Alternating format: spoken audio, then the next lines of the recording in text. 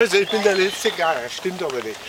Meine Mutter, das Luder, macht nicht allweils klar und der Vater, der Bazi, frisst alle allein.